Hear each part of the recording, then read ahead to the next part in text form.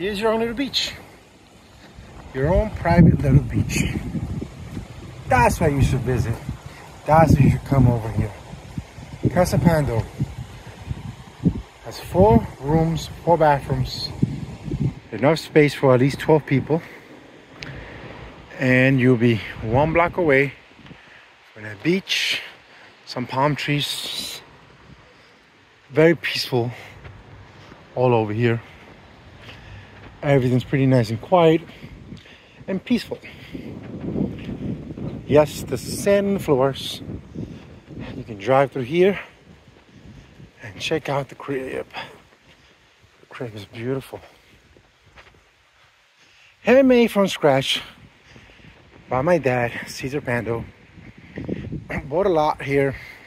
And every few years he would come here and build a floor, a a bathroom or two.